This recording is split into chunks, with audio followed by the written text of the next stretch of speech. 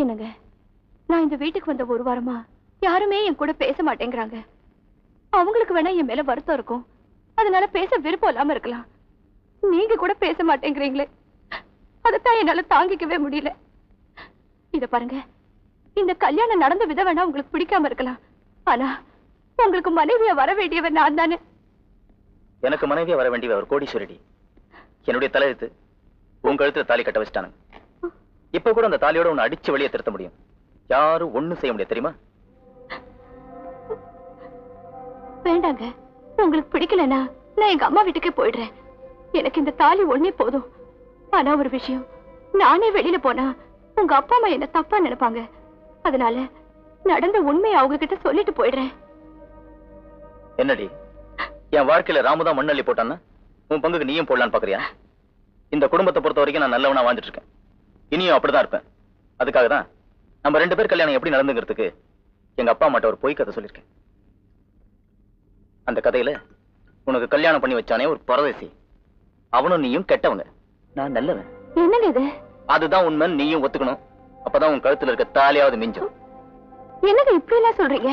அதான் சொல்லிட்டு தாலியாவது மிஞ்சோன்னு. என்னடி? சொல்றியா? இல்ல தாலி கட்டி வச்சுட்டு போறியா? சரிங்க. நீங்க சொல்றபடியே உங்க அப்பா அம்மா கிட்ட சொல்லிடுறேன்.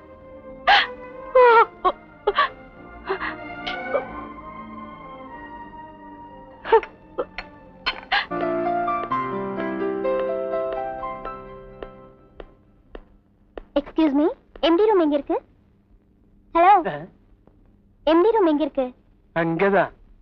தேங்க்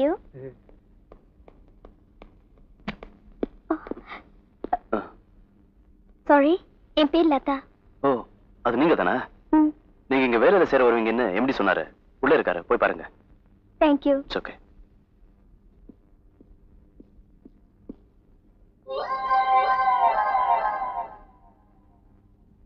hello excuse me நாளையில இருந்து அந்த பொண்ணு இங்க தான் வேலை செய்ய போகுது. அப்போ நல்லா பாத்துக்கலாம். இப்போ வேலைன்னு ஒண்ணு இருக்கு. கவனிக்கலாமா?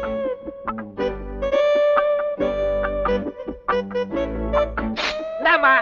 நீ யாரு? என்னது? நான் சொல்லாம கொள்ளாம நீ பாட்டுக்கு எல்லாத்தையும் மூடிக்கிட்டு இருக்கிற? பக்கத்து ரூமுக்கு வந்தேன். இந்த ரூம் திறந்திருந்துச்சு. அதான் உங்களையும் பார்த்துட்டு போலான்னு வந்தேன். வரதிருந்தா வந்துருவியா? இப்ப போ. என்னது? ஐயோ வாங்கடா! சார் என்ன சார் இது? வேர்க்க விறுவிறுக்க ஓடி வரீங்க? ராவு என் வாழ்க்கையில இதுவரைக்கும் நடக்காது நடந்து போச்சுடா. என்ன சார் அது? என் ரூமுக்கு ஒரு பொண்ணு வந்துட்டாடா. பொண்ணா? ஏனுங்க ஐயா. நமக்கு தெரியாம இப்படி ஒரு செட்டப்பா அடச்சே! செட்டப் ஆகுது. பக்கத்து ரூமுக்கு வந்திருக்கா. என் ரூம் திறந்து இருந்துச்சா உள்ள வந்துட்டேன்னு சொல்றேன் அப்போ காஞ்ச மாடு கம்பளம் விழுந்த மாதிரி ஆயிடுச்சா? காஞ்ச மாடாவது பச்சை மாடாவது. அவளை பார்த்து வில வளர்த்து போய் ஓடியா இருந்திருக்கிறேன் ஏனஜோ அண்ணாச்சியோ இது வரைக்கும் சபலசனாவே இருந்தனா? அந்த பொண்ணு நேர்ல வந்த உடனே ஒண்ணுமே புரியல அண்ணாச்சியோ.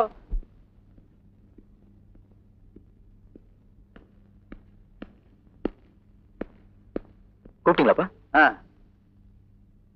இவன் தான் என் பையன் மோகன். வணக்கம். இவர் மிஸ்டர் பரமசிவம் பாம்பேல இண்டஸ்ட்ரியலிஸ்ட். இவரை பத்தி தான் ஏற்கனவே உங்ககிட்ட சொல்லியிருக்கேனே. உட்கார். உங்களை போட்டோல பாக்குறேன் இப்ப நேர்ல பாக்குறப்ப ரொம்ப வருத்தமா இருக்கு. எனக்கு மருமானம் வர வேண்டிய நீங்க ஏன் ஒரு சாதாரண குடும்பத்து பொண்ணு போய் கல்யாணம் பண்ணிக்கிட்டீங்க? அது பூர்வ ஜென்மத்துல செஞ்ச பாவம். யாரோ படிச்ச பசங்க இவங்கிட்ட வேலை கேட்டிருக்காங்க. இவன் இல்லைன்னு சொல்லியிருக்கான். அதுல தகராறாகி இவன் அவங்கள அடிக்கிற அளவுக்கு ஆயிப்போச்சு. அதனால அந்த பசங்க இவனுக்கு சம்பந்தமே இல்லாத ஒரு பொண்ணை இவன் கூட முடிச்சு போட்டு பேசி கத்திய காட்டி மிரட்டி கல்யாணம் பண்ணி வச்சுட்டாங்க. அந்த சூழ்நிலையில என்னால வேற என்ன அங்கிள் செய்ய முடியும்? கோர்ட் போலீஸ் ஸ்டேஷன்லாம் எதுக்கு இருக்கு? உடனே ஆக்ஷன் எடுத்து அந்த பொண்ணை விரட்டிட வேண்டியதானே? ஏன் விட்டீங்க? நானும் முதல்ல அப்படிதான் நினைச்சேன். ஆனா என் மிஸ்ஸஸால தான் அந்த பொண்ணை ஏத்துக்க வேண்டியதா போயிடுச்சு. என்னங்க செய்யறது? அந்த பொண்ணு கழுத்துல இவன் தாலி கட்டிட்டான் அது பேப்பர்ல வந்து மானம் போயிடுச்சு. அதுக்கப்புறம் கோர்ட்டு கேட்டுன்னு போனா மேற்கொண்டு இவருக்கு தானே கௌரவ குறைச்சல்.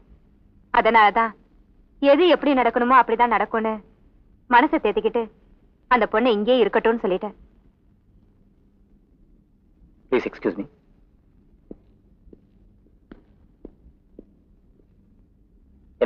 கோவமா பாக்குற? நான் வீட்டுல சொன்ன போய் ஊரெல்லாம் பரவுது என்ன? ஒண்ணும் செய்ய முடியாது. நீ ஏன் ஒத்துட்டு இருக்க. உனக்கு கஷ்டமா இருந்ததுன்னா சாமி கிட்ட சொல்லி அது தீத்துரு. அத்த.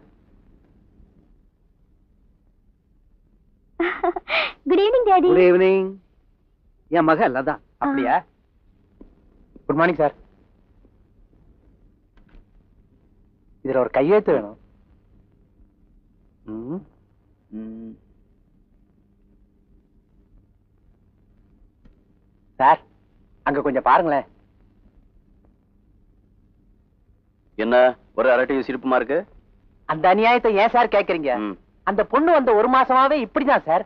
அது ஏதாவது விடுகதை போடுறதும் அதுக்கு பதில் தெரியாம நம்ம ஆளுங்க உளறதும் அதை கேட்டு மத்தவங்க சிரிக்கிறதும் ஐயோ ஒரே அட்டகாசமா போச்சு சார். பாருங்க கலக்கலப்பா இருந்தா தப்பு இல்ல கரெக்டா வேலை நடக்கணும் அவ்வளவுதான். சார் அந்த பொண்ணுக்கு பக்கத்து சீட்ல சண்முகம் இல்ல சார். அவனை மாத்திட்டு என்ன அங்க போட்டுருங்க சார். நான் எல்லாத்தையும் கரெக்ட் பண்ணிடுறேன். என்னது? ஆடு நினைதேன்னு ஓனாய் வருத்தப்படுதா? ம்? ஓ, வர்றேன் sir. Thanks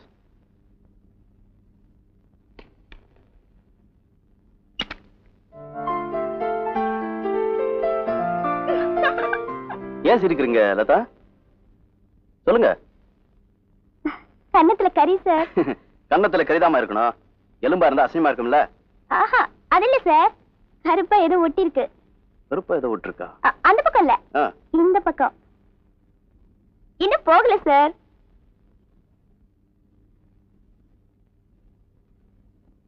okay if you don't mind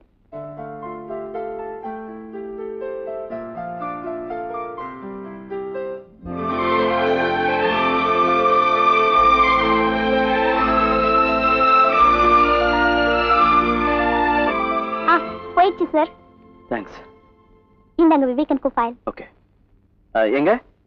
நீங்க என்னமோ இந்த விடுகதையெல்லாம் நிறைய போடுறீங்களாமே. ஆமா சார் உங்களுக்கு ஒரு விடுக்கதை போடட்டுமா? ஓகே ஓகே காலார நடக்கலான்னா ம். தபால்காரன் குறுக்க வந்து நகரத்தை கடைசில தள்ளி ம் தகரத்தை நடுவுல போட்டு பால்காரனாகி போயிட்டான். பாவி மனசு பாடா படுது. இதுக்கு என்ன விடை? எங்க?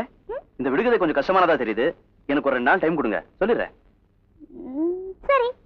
நல்லா யோசிச்சு சொல்லிடுங்க சார். தபால்காரன் குறுக்க வந்து நகரத்தை கடைசியில தள்ளி நகரத்தை நடுவுல போட்டு பால்காரனாகி போயிட்டான். பாவி மனசு பாடா படு. இந்த மாதிரி விடுகதைகள்லாம் அவளுக்கு போட்டதே இல்ல. காசி சார்! அந்த விடுகதைக்கு விட யோ என்ன ரெண்டு நாளா இதே தொலையா போச்சு? புது பொண்டாடிக்கு புடவை கட்ட விட மாட்டேங்கிறேன். அது இல்ல சார் நான் என்ன சொல்றேன்னா யோ போயா. நீ திரும்ப என்ன வீட்டுக்காரையா? விடுகதைக்கு இன்னும் விடை கண்டுபிடிக்கலையா? என்னமோ எங்களுக்கு முன்னாடி நீ கண்டுபிடிச்சிட்ட மாதிரி கேக்குறியே. ஓ கண்டுபிடிச்சிட்டனே. கண்டுபிடிச்சிட்டியா? நீயா? உங்க அப்பா என்ன தமிழ் பண்ணிட்டா சொல்லு. காலார நடக்கலாம்னா தபால்காரன் குறுக்க வந்து அதுல இருக்கிற கால். லகரமான இல்ல கடைசியில தள்ளி. தகரத்தை நடுவுல போட்டா. இதுதான் விடை. ஆ! என்ன? இப்ப புரிஞ்சுக்கிட்டீங்களா? புரியுது புரியுது. அப்பா!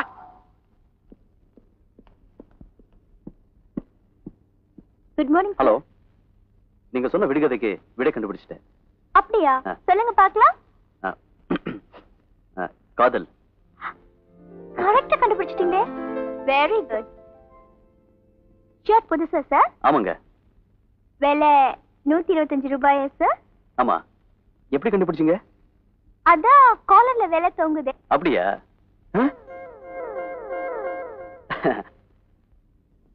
அவசரத்துல கவனிக்காம அப்படியே வந்துட்டேன்.